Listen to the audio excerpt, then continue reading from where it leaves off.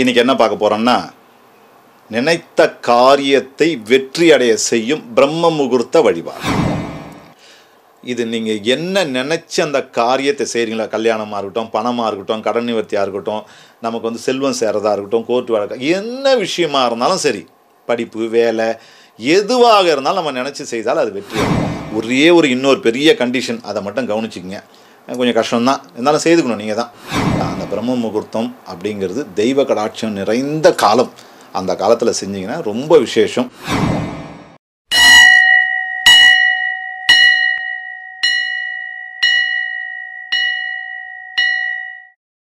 வணக்கம்.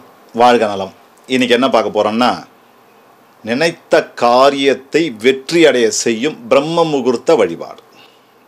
ரொம்ப விசேஷமானது. அதை தான் பார்க்க போகிறோம் அதுக்கு நடுப்புற ஒரு விஷயம் என்னென்னா நம்ம கோயிலுக்கு போகிறோம் பாருங்கள் வெள்ளிக்கிழமை செவ்வாய்க்கிழமை கோயிலுக்கு போய் சாமி கும்பிடுவீங்க விளக்கேற்றுவீங்க இதெல்லாம் போகிறோம் அப்படியே என்ன பண்ணுறோம் நிறைய பேர் கோயிலில் போய் விளக்கேற்றிட்டு எண்ணெயெல்லாம் ஊற்றி திரியெல்லாம் போட்டு விளக்கேற்றிட்டு அந்த கையை எண்ணெய் கையை அப்படியே செவுத்தில் தொடச்சிட்டு வந்துடுவோம் அது கோயிலுடைய செவரெல்லாம் அசிங்கமாக போயிடும். அதை நம்ம வீட்டில் செய்வோமான்னு யோசிச்சு பார்த்தா செய்ய மாட்டோம். ஏன்னா நம்ம வீட்டு செவரு போயிடுமே. அதனால் அது மாதிரி கோயிலுக்கு போகிறச்சே ஒரு துணி கொண்டு போங்க. நம்ம கை துடைக்கிறதுக்கு ஒரு வேஸ்ட்டு துணியை கொண்டு போங்க.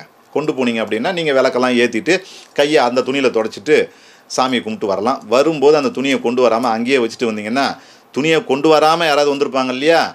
அவங்களுக்கு அது துடைக்கிறதுக்கு பிரயோஜனப்படும். அப்படி விட்டுட்டு வாங்க. இது ஒரு புண்ணியமாக இருக்கட்டும். அது மாதிரி செய்தீங்க அப்படின்னா கோயிலும் சுத்தமாக இருக்கும்.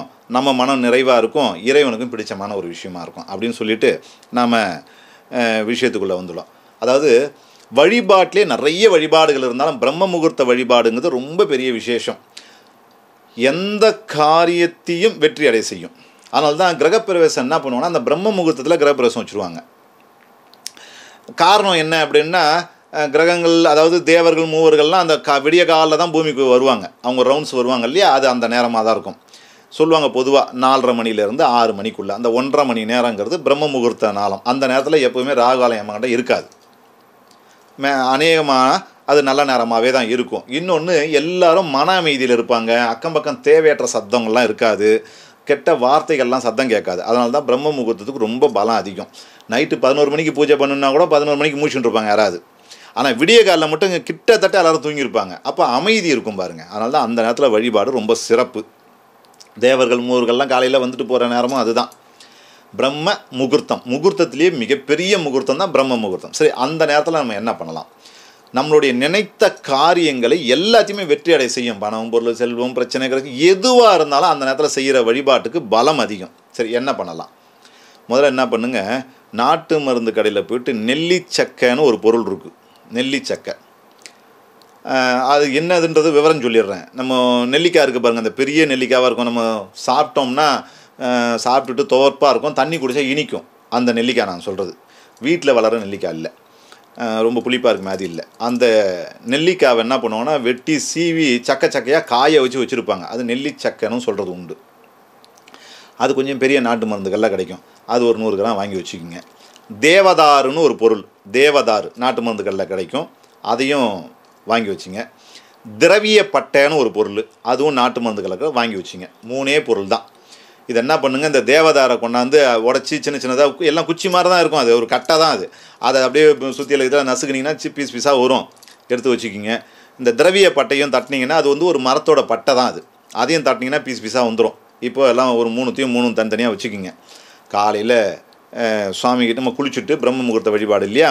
குளிச்சுட்டு என்ன பண்ணுங்கள் சுவாமிகிட்ட போயிட்டு விளக்க ரெடி பண்ணிங்க. அதில் நல்ல எண்ணெய் அதாவது நம்ம நல்லெண்ணெய் ஊற்றி ஏற்றுறோம் இல்லையா? அந்த மாதிரி நல்லெண்ணெயாக இருக்கலாம் அல்லது விளக்கெண்ணெயாகவும் இருக்கலாம்.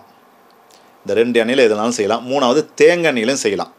தேங்காய் எண்ணெயை ஊற்றிடுங்க விளக்கில். ஊற்றிட்டு அதில் என்ன பண்ணுங்கள் இந்த நெல்லி சக்கரை சொன்ன பாருங்கள் அதில் ஒரு ரெண்டு மூணு தூக்கி உள்ளே போட்டுவிடுங்க. அந்த எண்ணெயில். அப்புறம் திரவிய பட்டையில் ஒரு ரெண்டு மூணு பீஸை தூக்கி உள்ளே போட்டுவிடுங்க.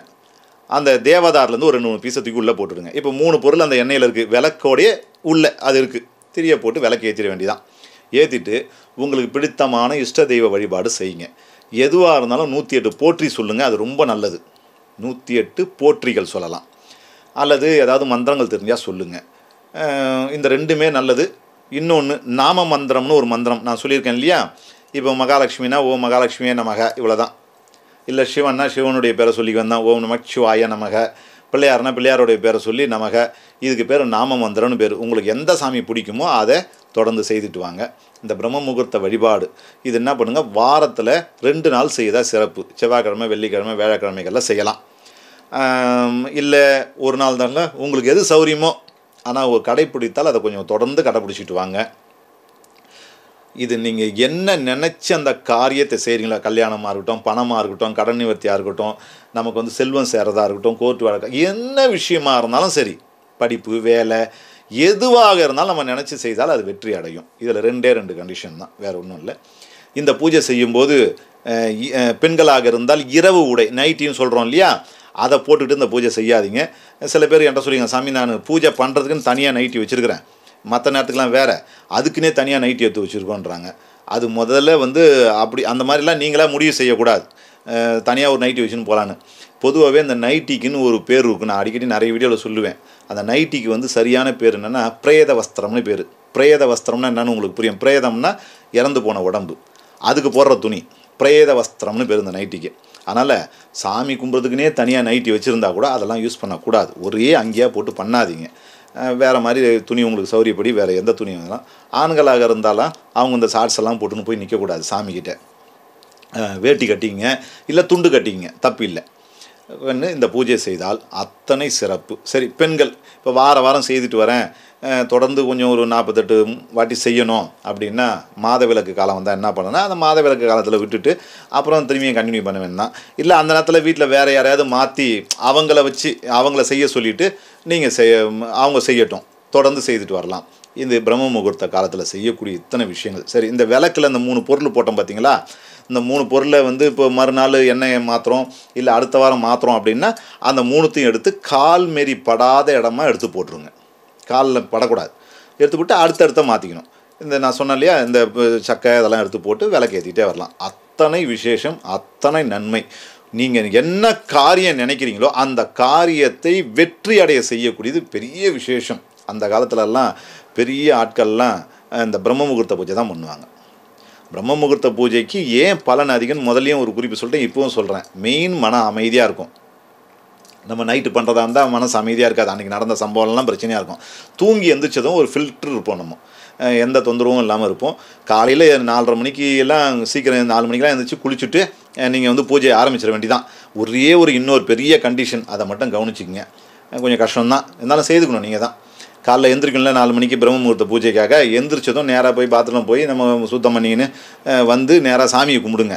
தப்பி தவறி கூட செல்ஃபோனை தொட்டுறாதீங்க. செல்ஃபோன் எடுத்தோம்னா அதில் போயிடும் பாதி நேரம். அல்லது யார் மெசேஜ் போட்டுக்கிறான்னா ஏதாவது ஒரு நமக்கு ஆகாத மெசேஜ் ஒன்று வந்திருக்கும். ஆகாத இது வந்து டென்ஷன் ஆகிடும் அப்புறம் பூஜையை கெட்டுடும். அது பக்கமே திரும்பாதீங்க. அது ஒரு சத்ரு அந்த நேரத்துக்கு. எல்லாம் முடிச்சுட்டு வந்து அதை வேணால் பார்க்கலாம். இதெல்லாம் செய்தீங்கன்னா அந்த பிரம்ம முகூர்த்தம் அப்படிங்கிறது தெய்வ கடாட்சம் நிறைந்த காலம். அந்த காலத்தில் செஞ்சீங்கன்னா ரொம்ப விசேஷம். இதை நான் சொல்கிறதை செய்து உங்களுடைய வாழ்க்கையில் வளம் பெற்று நலம் பெறுங்க. நன்றி வணக்கம் வாழ்க நலம்.